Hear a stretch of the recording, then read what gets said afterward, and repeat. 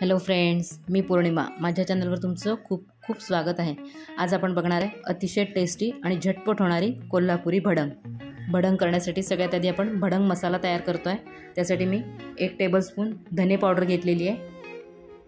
त्यानंतर अर्धा टेबलस्पून जिरं पावडर त्यानंतर अर्धा टेबलस्पून आमचूर पावडर त्यानंतर पाव टेबलस्पून सोप पावडर टाकलेली आहे. त्यानंतर थोडीशी साखर. चवीनुसार आपण मीठ घालणार आहे. आणि सगळ्यात शेवट लाल तिखट दीड टेबलस्पून टाकलेलं आहे आपण.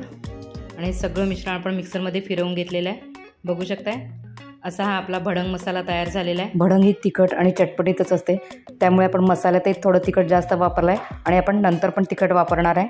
आता भडंग करण्यासाठी मी कढईमध्ये तेल ठेवलेलं होतं गरम करायला. त्यामध्ये मी एक वाटी दाणे छान तळून घेणार आहे. भडंग बनवायला अतिशय सोपी आहे आणि खूप झटपट होते.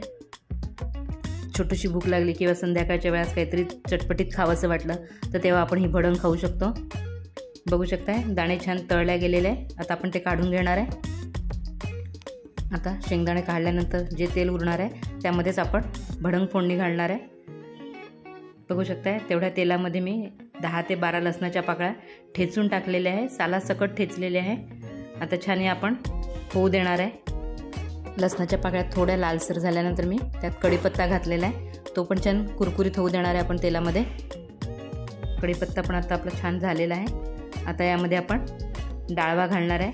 एक वाटीच डाळवा मी टाकलेला आहे. आता थोड्याशा परतवून घ्यायच्या आपल्याला तेलावर. डाळ्या आधीच भाजलेल्या असतात. त्यामुळे थोड्याशा परतवायच्या त्या फक्त आपल्याला. डाळ्या भाजल्यानंतर मी गॅस बंद केलेला आहे.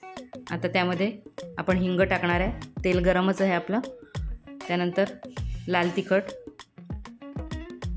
लाल तिखट आणि हिंग टाकून आपण व्यवस्थित मिक्स करून घेतलेला आहे. बघू शकताय फोडणी.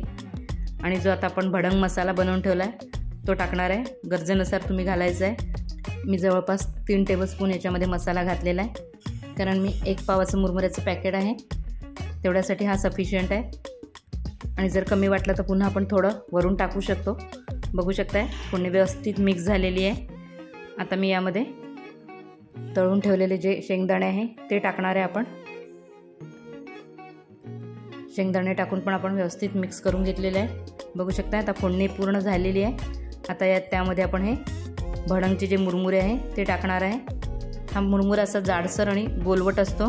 आणि नाशिक मुरमुरा जरा लांब आणि पातळ असतो. पण छान कुरकुरीत आहे मुरमुरे. अगदी आता मी सीम गॅस करून घेतलेला आहे. फोडणी मिक्स करणार आहे आणि आपण थोडी भडंग परतवून घेणार आहे आपण. बघू शकताय जसं जसं मिक्स करते तसा तसा भडंगला रंग येतो आहे बघू शकताय छान मी परतवून पण घेते आणि रंग पण आता छान आलेला आहे भडंगला. बघू शकताय तुम्ही अगदी लो फ्लेमवर मी परतते याला. मी फोडणीमध्ये अगदी एक दोन मिनटंच परतवून घेतलेलं आहे. भडंग तयार झाल्यानंतर पूर्णपणे थंड करून मग ती एअरटाईट डब्यामध्ये भरायची.